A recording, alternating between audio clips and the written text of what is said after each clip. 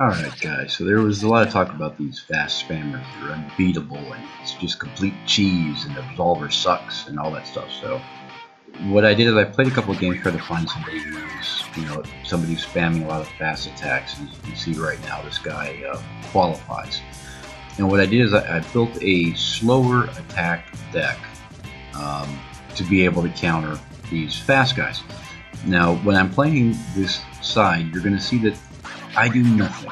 I don't block, I don't time anything. I am just equally spamming right back at this fast spammer. And I'm going to beat him in this match. If I take the time to actually time anything, uh, I would beat him absolutely handedly. I, I believe I beat him 3-2 um, or 3-1, something like that at the, at the end of the video.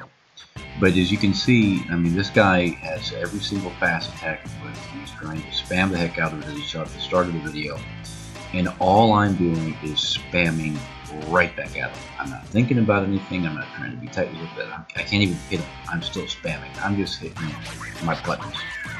Just to prove a point. Because no skill whatsoever. A halfway decently built deck and I'm going to take out the fast spammer. So a lot of people who are complaining about it, you just need to understand that you need to build a better deck.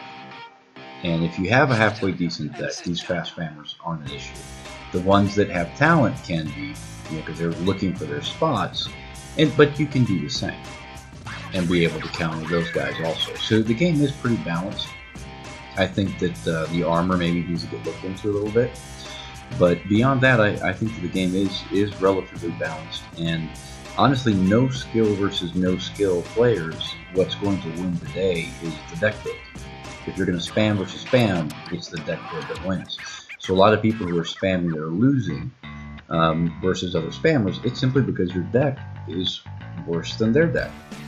And when you get up into a little bit higher level play, you're going to, you know, watch what they're doing and be countering. You won't just have a deck build, but you'll understand every single one of your combos that you have in the deck, how to interrupt those combos, uh, mid combos to be able to, you know, move from one stance to another.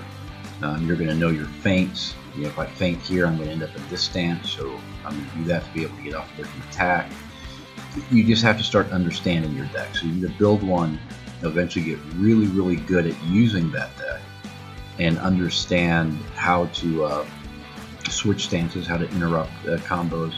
And one thing that people don't understand when they're building their deck is you don't have to fill everything out. You don't have to have three attacks on all four rows. Um, actually, very few of my decks actually have that. And if they do, one of them does, which is my full deck.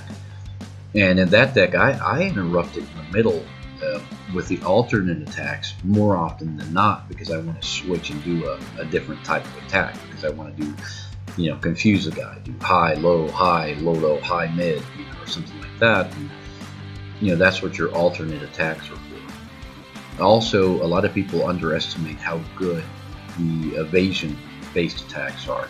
I mean, they do a decent amount of damage, they're a little bit slow, but they also give you a chance to duck or, or sidestep an opponent's attack. So when you're building your deck, you need to place those strategically, understand where they are, what stances they're in. You take a look at your opponent, and then you can counter them with an attack. Instead of trying to block or dodge or, or whatever it is that you're trying to do to be able to counter them, you can just do it with one of those dodging attacks and do just fine. The same thing with the parry attacks. You just have to know what you have available to you, build the deck, understand and remember where you put things at. You know, know what sequence you want to hit them in. Understand when you want to break that sequence into an alternate attack, and that alternate attack knows where that's going to lead you to. You know, so it, it's there's a lot of learning involved, uh, and you're just building your own deck and then learning how to use your own deck. So here at the end of the video, and I'm going to let it go through uh, until the game ends you're going to see that I do end up winning, and I can see now it's a, it's a 3-2 win uh, against him. But then I'm going to show you how simple this deck I'm using is. It is, and you can probably tell, I mean, if you play this game any and, and you're looking at what I'm doing, you're going to notice there are very few combos. Very few combos. And anybody who's really good should just completely obliterate me because my attacks are entirely predictable. Um, my sequences are extremely predictable.